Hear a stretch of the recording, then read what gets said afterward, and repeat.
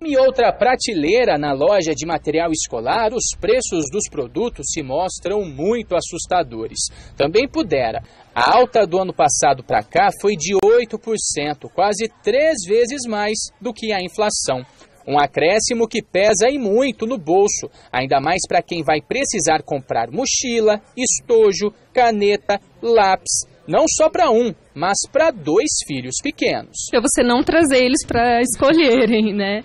Então eu acabo não optando por personagem. É sempre o que dá para segurar, às vezes no, no, estojo, mochila, a gente tenta passar para o próximo ano. Além do reajuste salgado que não dá para evitar, os pais precisam lidar com a variação de preços, causada principalmente pela enormidade de marcas disponíveis nas lojas de material escolar. De acordo com uma pesquisa de mercado realizada aqui em Londrina, os valores de um mesmo produto podem variar até 900%. Por isso que é possível encontrar num único estabelecimento canetas praticamente idênticas, mas com os valores, ó, bem diferentes.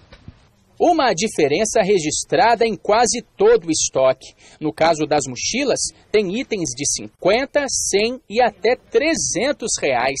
Estojos podem ser encontrados de 8 a até 35 reais. Os cadernos, então, nem se fala.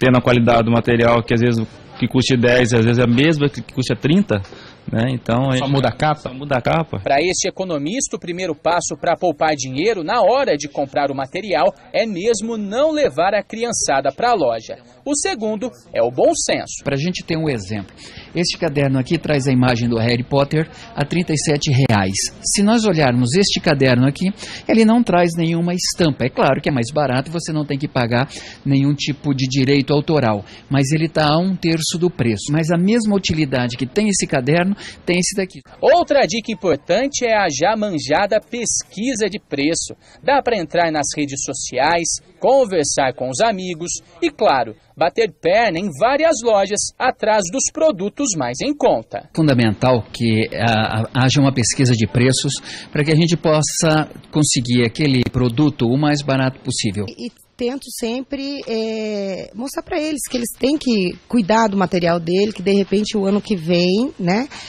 pode ser utilizado de novo.